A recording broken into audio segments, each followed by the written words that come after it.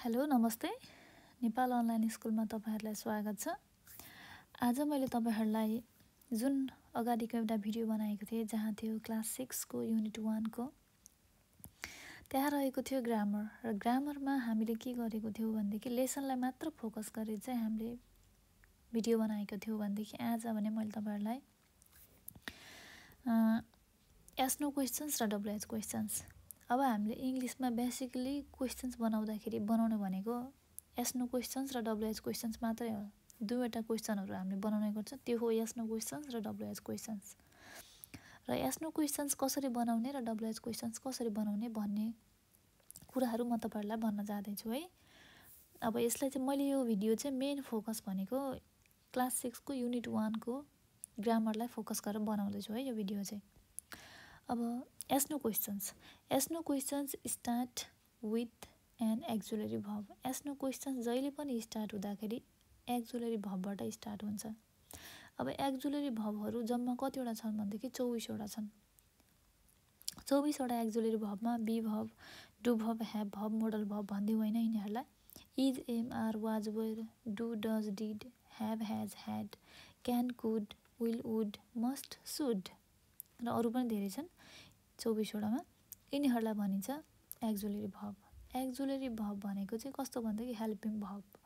जसले चाहिँ question answer गर्नको लागि अथवा बनाउनको लागि चाहिँ हेल्प गर्छ।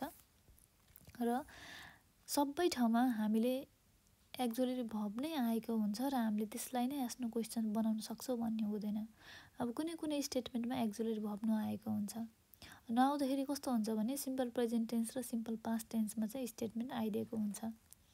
अब त्यस्तो आउँदाखेरि हामीले डु डज डिड लाउनु पर्ने हुन्छ। अब डु डज डिड कुन कुन ठाउँमा लाउने भने तपाईँहरूलाई फेरि कन्फ्युजन हुनसक्छ है। म तपाईँहरूलाई सिम्पल वेमा भनिदिँदैछु। I we you they. आएको छ र एक्जुलरी भब आएको छैन भनेदेखि तपाईँहरूले डु लगाउन सक्नुहुन्छ। सिम्पल एकदम इजी हो है। अब अर्को रहेछ हि सी इट। आएको छ भनेदेखि तपाईँ डज लगाउन सक्नुहुन्छ। एक्जुलरी बाबा आएको छैन भनेदेखि त्यसपछि पास्ट पार्टिसिपलमा त डिड लगाउन सकिहाल्नुहुन्छ सकिहाल्यो। एक्जुलरी बाबा आएको छैन भनेदेखि। मैले तपाईँहरूलाई एक्जाम्पलको लागि भन्दै भन्दैछु दे आर मैले आरको बनाएँ है फर्स्टमा इजिएमआर वाजवेयरमा मैले आरको बनाउँदैछु अब हामी एउटा सानो एस्नो क्वेसन्सको चाहिँ एउटा सानो एउटा स्ट्रक्चर हामी हेरौँ है त। जुन हामीलाई स्ट्रक्चरबाट जाँदाखेरि चाहिँ एकदमै सजिलो हुन्छ है। एस्नो क्वेसन्स हो होस् अथवा अरू कुनै पनि डब्लुएस क्वेसन्स चाहिँ किन नहोस् होइन? अब दे आर प्लेइङ फुटबल भन्ने हामीसँग स्टेटमेन्ट छ।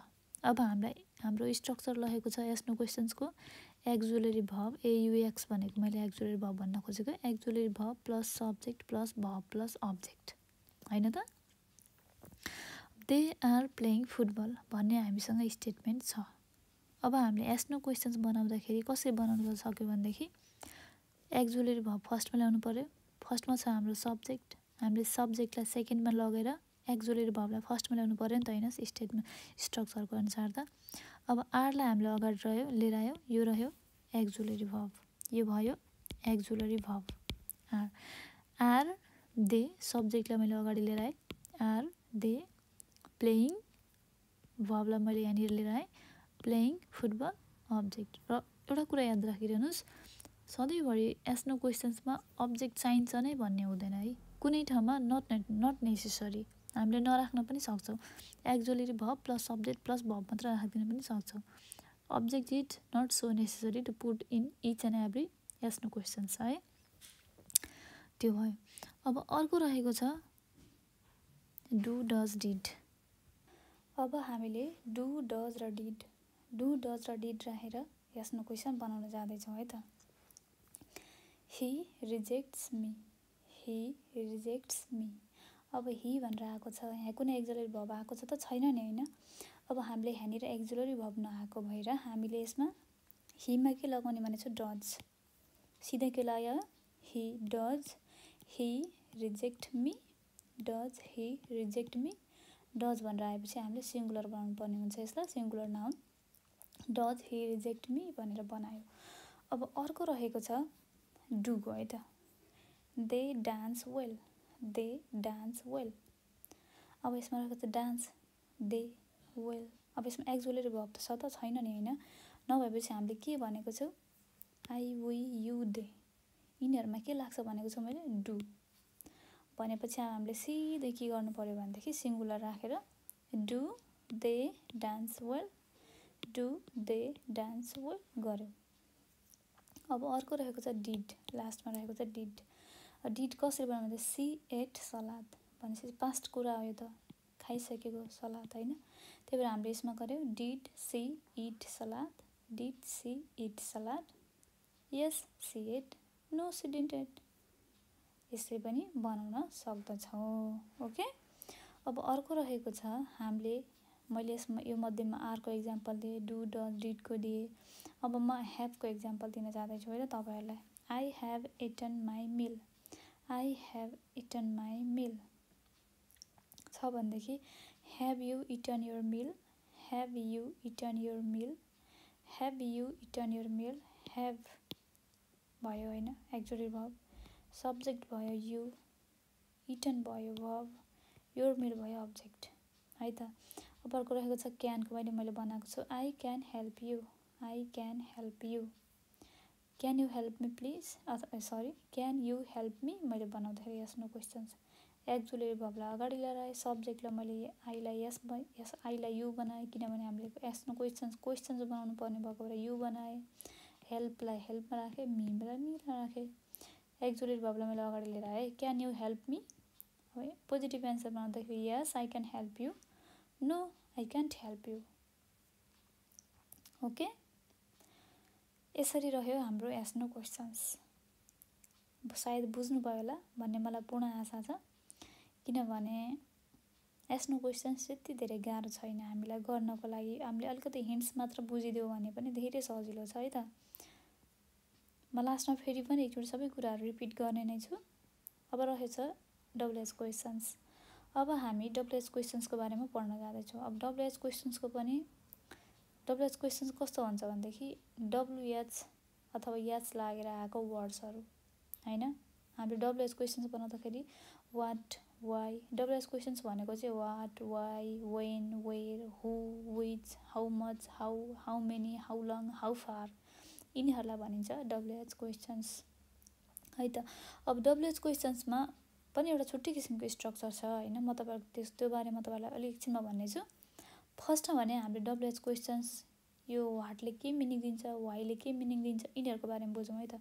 वाट आस्क एबाउट अब्जेक्ट र आइडिया वाटले के भन्छ? अब्जेक्ट र आइडियाको बारेमा सोध्छ। Ask why ask about reason रिजनको बारेमा कारणको बारेमा सोध्छ भनेदेखि वेनले टाइमको बारेमा सोध्छ। वेयरले प्लेसको बारेमा सोध्छ। हुले पर्सन एन्ड पिपलको बारेमा सोध्छ। सिङ्गुलर र प्लुरल होइन? विचले थिङ्सको बारेमा सोध्छ वस्तुको बारेमा हाउले म्यानरको बारेमा सोध्छ होइन? हाउ मचले प्राइसको बारेमा सोध्छ अनकाउन्टेबल हुन्छ जुन होइन? हाउ मेनीले प्रा क्वान्टिटीको बारेमा सोध्छ जुन हुन्छ काउन्टेबल होइन? अब अर्को रहेको छ हाउ लङले टाइमको बारेमा सोध्छ भनेदेखि हाउ फारले फिजिकल डिस्टेन्सको बारेमा सोध्छ। अब म तपाईँहरूलाई स्ट्रक्चर भन्न जाँदैछु है त। अब हामीले अघि यस्तो क्वेसनमा auxiliary V plus subject plus V plus object भनेर हामीले auxiliary verb sorry yes no क्वेसन्सको question बनाएको थियो भनेदेखि अब डब्लुएच क्वेसन्समा सबै सेम हो। एउटा फरक यति छ कि डब्लुएच क्वेसन्समा चाहिँ डब्लुएच वर्ड प्लस होइन auxiliary verb plus subject plus verb plus object भइदिन्छ। फरक यति मात्र हो कि यहाँनिर डब्लुएच लागेर आइदिन्छ।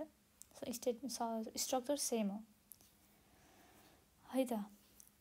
वाट हामी वाटको बनाऊँ? What ask about idea or object what ask about idea or object भनेपछि what are you eating what are you eating भनेर मैले बनाएँ एउटा है।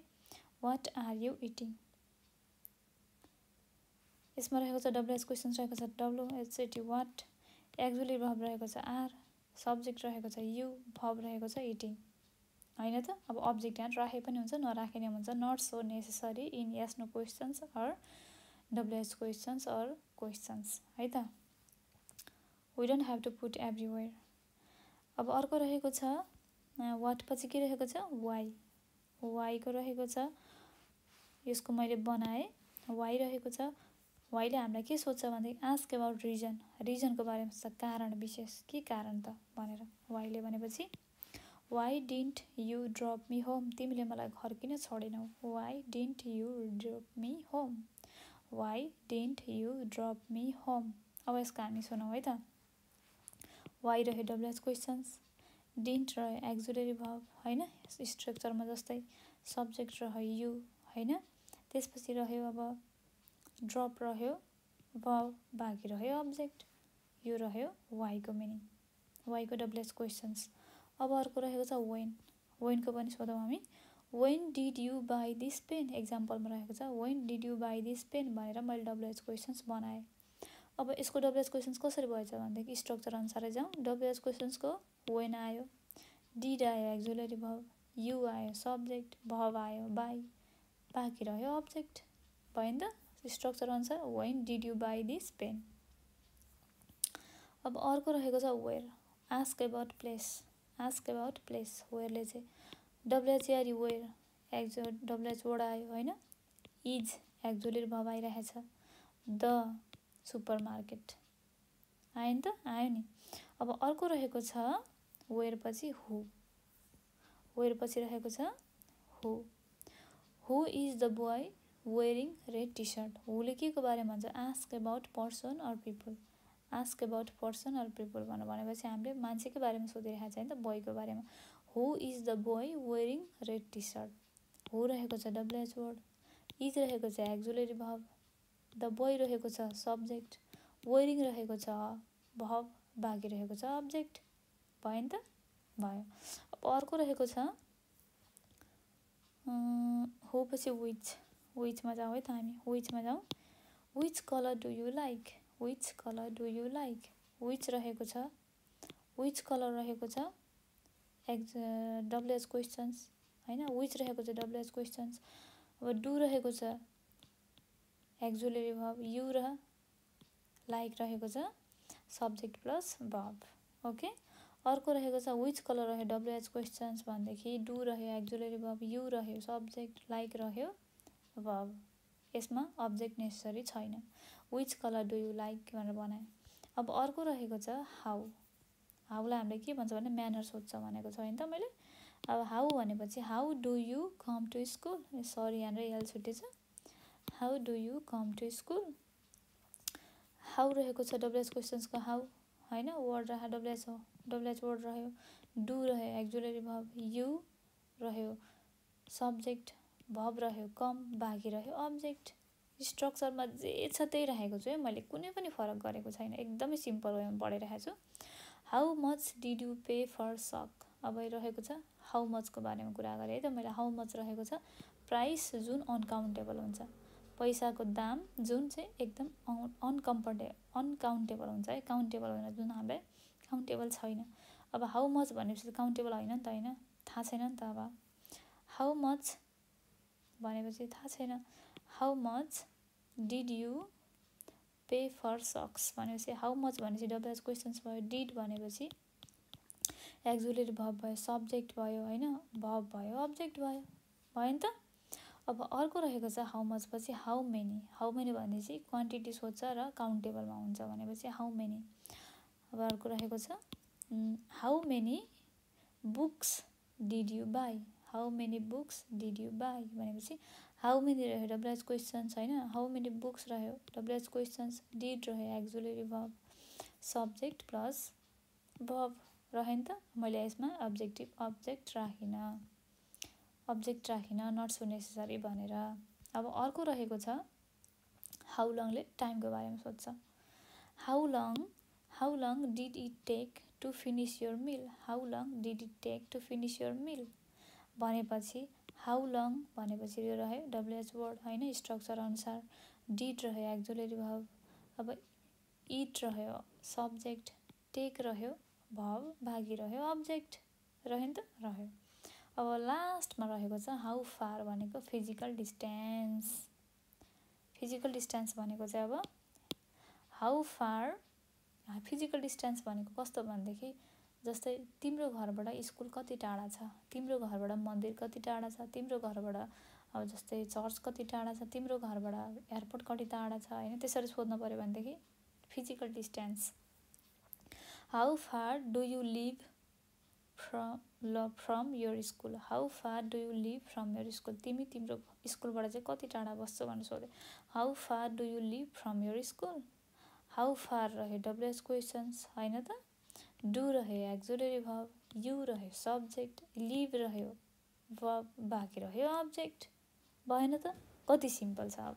हेर्नुहोस् त।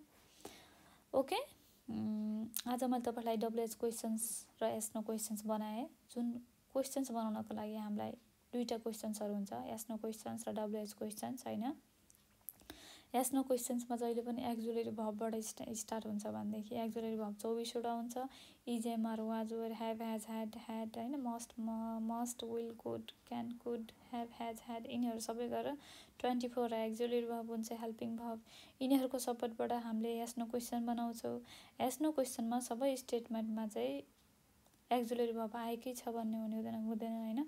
आएको छैन भनेदेखि हामीले डु डज डिड डु हब्सहरू लाउनु पर्ने हुन्छ। अब डु डज डिडमा पनि आई वी यु दे आएको छ भने हामीले डु लगाउने। हि सी इट आएको छ र हामीलाई गुजरेर भब आएको छैन भनेदेखि डज लगाउने र पास्टको त भइहाल्यो सकिहाल्यो होइन। मैले त्यसपछि एक्जाम्पल दिएँ तपाईँहरूलाई। ल अर्कोमा मैले रहेँ डब्लुएच क्वेसन्स पढाएँ। डब्लुएच क्वेसन्समा डब्लुएच प्लस हाउ डब्लुएच अथवा एच जोडेर आएको वर्ड्सहरूलाई डब्लुएच क्वेसन्स भनिन्छ। अब डब्लुएच क्वेसन्सको भने स्ट्रक्चर छ छुट्टै होइन? मैले स्ट्रक्चर राखेर तपाईँहरूलाई क्वेसन बनाएर देखाएँ। ओके आशा गर्दछु मैले पढाएको कुराहरू हजुरहरूले बुझ्नुभयो होला कपीमा सायद टिप्नुपर्ने भएको छ होला। छैन भने पनि एकछिन होल्ड गरेर भए पनि टिप्नुहोस्। अल्छी गर्नु हुँदैन है पढ्नको लागि। एकदमै अल्छी गर्नु हुँदैन। Okay thank you so much everyone तपाईँहरूलाई यदि कुनै पनि किसिमको क्वेसनहरू सोध्नुपर्ने छ प्रब्लम छ भनेदेखि हामीहरूलाई सोध्न सक्नुहुन्छ। यदि तपाईँहरूलाई पढ्न अल्छिरहेको छ भनेदेखि गीत सुन्दै पनि पढ्न सक्नुहुन्छ भनेर भन्न मिल्दैन होइन? एकदम कन्सन्ट्रेसनको साथ पढ्नुपर्छ। ओके तपाईँहरूलाई केही पनि किसिमको नोटहरू कुनै पनि किसिमको प्रब्लम छ भनेदेखि हामीहरूलाई पढ्नको लागि सोध्न सक्नुहुनेछ। हाम्रो फोन नम्बर रहेको छ nine eight four nine five nine five eight nine five. You can always contact us in this number okay? Have a nice day. Thank you so much everyone for listening me. I hope you guys are studying well. Bye